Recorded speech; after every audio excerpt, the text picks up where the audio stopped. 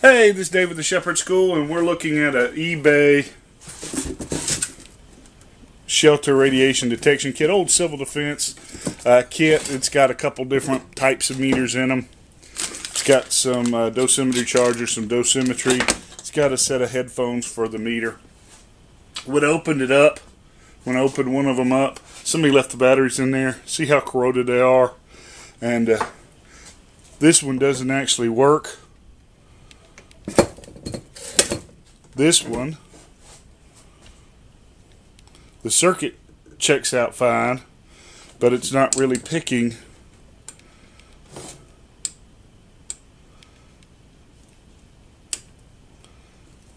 anything up. It's it's okay.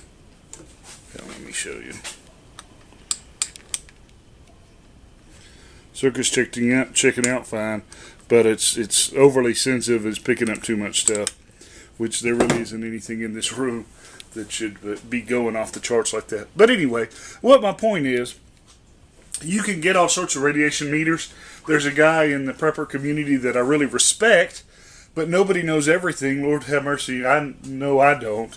But uh, he was bragging about his his new meter that he got that picks up, you know, millisieverts and which is which is basically what meters is to feet, right? It's the international unit um, a sievert is. But uh, it, it's it picks up. It's so sensitive that it picks up more than what you get from just standing next to a rock. It, it, it picks up way below background. It's so sensitive that basically you turn it on and it's inundated by, you know, life, by the sun, by by uh, you know, cosmic radiation by natural radiation coming from rocks, from the sheetrock in the wall of the banana that you ate this morning. And it's really just too sensitive. And, and he really couldn't tell me why he got it, other than, you know, it was it was the most sensitive one you could get, right? So um, buying the wrong kind of equipment really doesn't do you any good, right? If you get a high range meter um, that's used to, to, you know, check out contamination around a reactor, a nuclear weapon, or some something like that you know, it's so high that it's not sensitive enough to pick up what you're going to get if you are contaminated by, you know, some sort of disposition, something falling out of the sky or, or radioactive uh, contamination, right? So you need to know what you want, and you need to know what equipment is to uh, you need to use it. And I'm not against these old civil defense meters. When you get one that's calibrated right?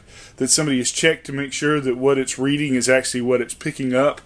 They're they're bulletproof. They're strong. They they last forever, right? As long as they're taken care of and somebody doesn't corrode out the insides, right? And uh, I'll put a link to some places you can go to uh, to buy good meters. And and I don't get anything out of that, you know. Um, nobody pays me for any of this, but um, there's a guy. I think he's out of Texas who bought a whole bunch of this stuff from military surplus or from, you know, FEMA uh, surplus. And he's got the actual test stands and calibration items and tools and manuals to repair these meters. And he sells them. When he sells them, he sells them to you as is, or he can sell them to you fixed and, and calibrated and guaranteed. And he's got a service where every year or every two years you can send a meter in and he'll check it to make sure that it's actually functioning correctly. Which, if you're going to go through the trouble of getting a radiation meter, and that's up to you. You know, I don't either recommend it nor nor not recommend it. If you think you need one, then uh, make sure you get one that, that you know works and that is calibrated, okay? And with that being said, we're going to do a couple videos with some meters that I know work, and I'll show you some tips about using them. Okay, so uh, you can always check us out online. I'll have better links and, and, and more information on the website um, at www.tngun.com.